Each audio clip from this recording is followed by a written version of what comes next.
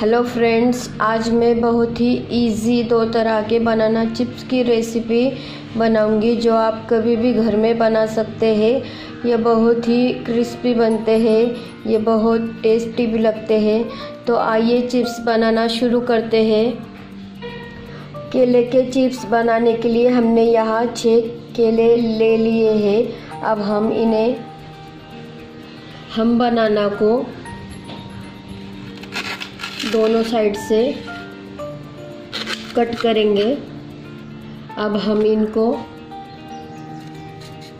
छील के लेंगे।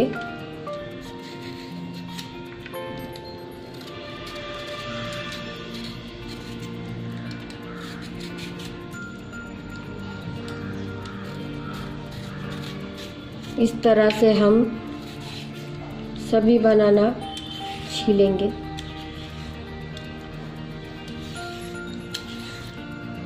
और तलने के लिए हमने गैस की फ्लेम ऑन करके तेल गरम होने रख दिया है, लो फ्लेम पे। एक बनाना लेके हमने इसका हरा छिलका उतार दिया है। अब हमने चिप्स कटर लेके इसको हम लंबा लंबा काटेंगे। हमने यहाँ ग्रेटर से चिप्स लंबाई में कट कर लिए हैं। तेल को हम चेक कर लेते हैं। तो हमारे यहाँ तेल गरम हो चुका है।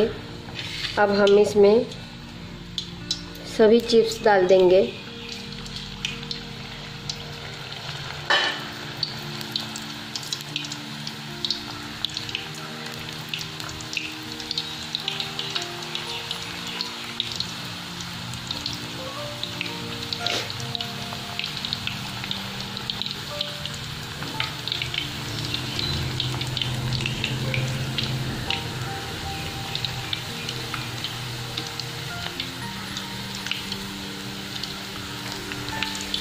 हमें केले के चिप्स तलने के लिए तेल मीडियम हाई पर गरम चाहिए तो चिप्स अच्छे से तले जा रहे हैं।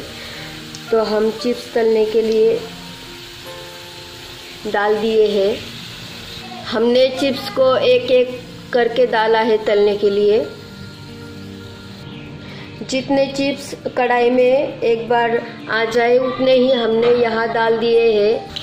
केले के चिप्स को हम हाई फ्लेम पे गोल्डन ब्राउन होने तक तलेंगे। ये थोड़े से नीचे से सीख गए हैं। अब हम इनको पलट देंगे और जब तक हमारी ये चिप्स तल कर तैयार होते हैं, हम दूसरा केला इसी तरह से छिलकर काट कर हम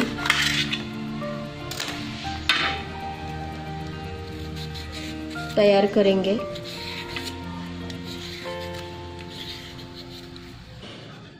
हम एक साथ सब केले छिलकर नहीं रख सकते हैं, क्योंकि केले अगर कटे रहते हैं तो वो काले पड़ते हैं। चिप्स अच्छे से हमारे गोल्डन ब्राउन हो चुके हैं, अब हम इनको निकाल लेंगे।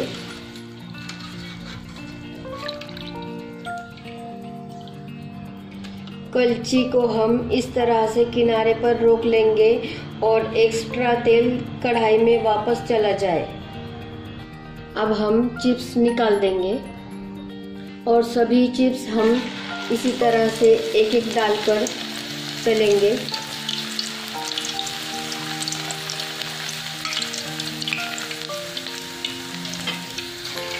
हमारे चिप्स यहाँ गोल्डन ब्राउन हो चुके हैं, अब हम इसे निकाल लेंगे।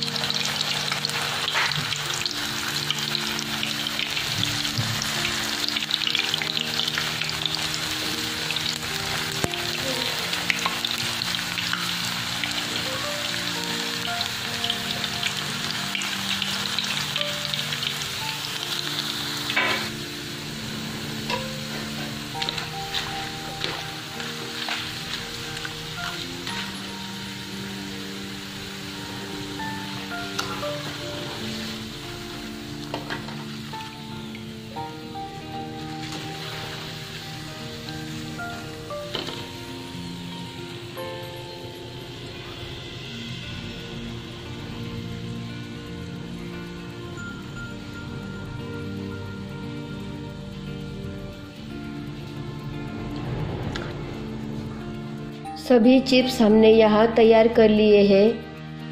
कच्चे, केले के लंबे वाले चिप्स बनकर तैयार है। इनके ऊपर हम चाट मसाला, लाल मिर्च पाउडर मिक्स करेंगे, डालेंगे।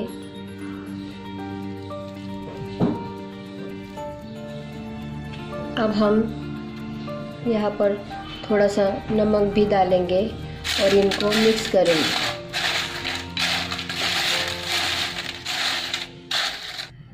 बहुत ही कुरकुरे और टेस्टी चिप्स बने हैं।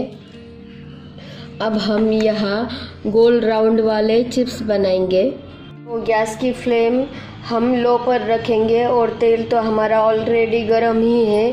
अब हम केले का टॉप और बॉटम काटेंगे और इसका हम छिलका उतार देंगे।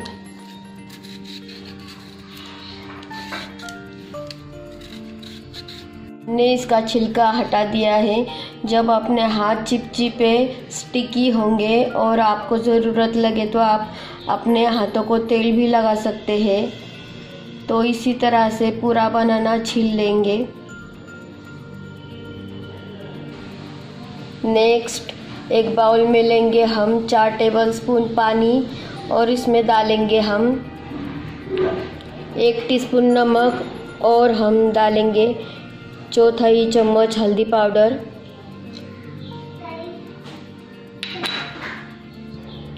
और इसे हम मिक्स करेंगे।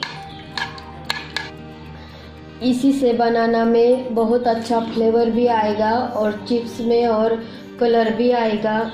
इसको अब हम साइड में रखेंगे। और मार्केट में जो बनाना चिप्स मिलते हैं ना, उसमें भी वो इसी तरह से पानी ऐड करते जाते हैं। अब हम बनाना को, अब हम बनाना को राउंड वाले शेप में डायरेक्ट तेल में तलेंगे। तो इसे हम लगातार स्लाइस करेंगे तेल में।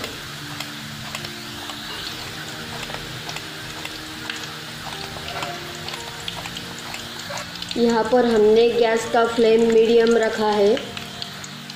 एक मिनट हम फ्राई होने देंगे, उसके बाद हम इसमें कड़ची चलाएँगे। और उसके बाद हम साइड से थोड़ा थोड़ा हल्दी और नमक का पानी ऐड करेंगे।